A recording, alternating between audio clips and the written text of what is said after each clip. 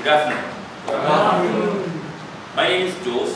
Full name is Jose James Nellikumam. Jose is short name of Joseph. James, my dad. Nellikumam is my family name.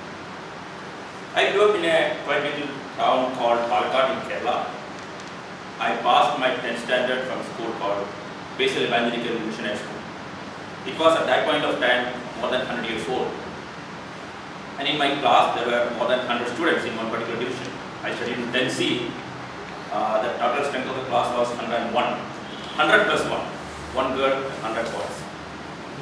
I passed out 10th standard. I joined another 100 year old institution. Uh, that's Government Victoria College. And you know, that college would has produced very famous personalities. And the list is endless, but I'll mention few of them. Uh, veteran communist leader E.M.S. Namboodiripad, our election commissioner T.N. Seshan, Supreme Court Justice V.R. Krishna Iyer, the man behind the metro and the Konkan Railways, E. Sridharan, they're all uh, you know, students of that college, Government College. When I entered the college, it was a campus of 25 acres, 3000 students. And then believe me, it was full of colorful. Slowly, I started shifting my place from inside the class to outside the class. And I started swaying here and there without any concrete ambitions or plans. Years passed, and I completed my graduation in physics with good first class. But then I don't know what to do. Getting a job was not so very easy those days.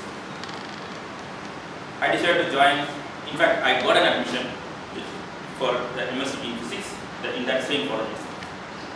There was only six seats for MSc and I was able to get one.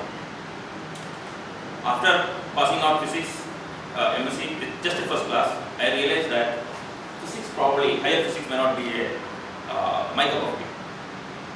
So then there was a time when people were talking about computers, the next computer revolution and things like that.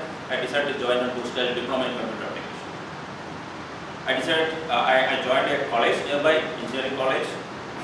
And those days, the computer lab was having three PCs, the two IBM PC, XTs and ATs. Uh, before I could complete the course, things started swaying in again. I got a job. I got hired by a leading tire manufacturing uh, firm uh, and I got my first job in Gujarat. I decided to take up that job, leaving the computer diploma there.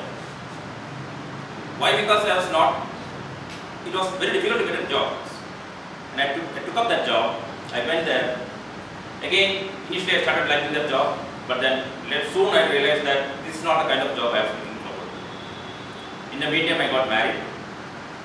Uh, then things started working really well for me. I started thinking, I started planning.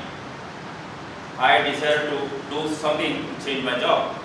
I started refreshing my computer skills. And I got a job in Bangalore during the dot com days. Guess what? You all know what happened. Com did not last for long. But my mainframe skills came to my help. I got absorbed in another 100 year old corporation again. Uh, and I'm still continuing with that company Three. I joined as a program analyst there, and over the last 14 years, I, I progressed my career slowly but steadily. And until last March, I was studying IT department over there. And as part of career progression, now I am part of, I moved into an APAC resource, and I'm an APAC resource now. Looking back, I always feel that, you know, while it's important to plan, it is never too late for anything. You can still plan, you can cre still create opportunities, you can still create success, you can still create happiness. And personally, I'm convinced because you know, many times I don't do, I don't enter into competition. I used to play violin, but I don't enter into competition because of fear of failure.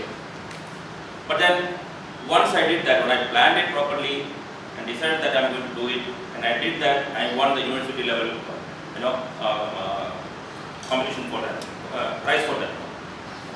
And when I when I look back again, when I decided to change my career, I prepared well. I did that additional, you know, uh, extra mile to get that uh, thing done, and I got it done. And after joining my my my uh, new job in the computer profession, I decided to crack the PMP examination. That was six years back. I thought for a long time, but then one day I decided to do it, and I cracked it in the first first attempt. And now, I'm looking, uh, I'm, I'm standing in front of you, seeking your support to become a better speaker. Thank you.